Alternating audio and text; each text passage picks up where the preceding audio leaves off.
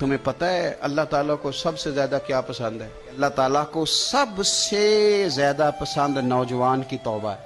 चढ़ती जवानी हो, ताकत हो, गुनाह करने की पूरी कुव्वत हो, फिर भी वो तौबा करे तो मेरे मालिक को सबसे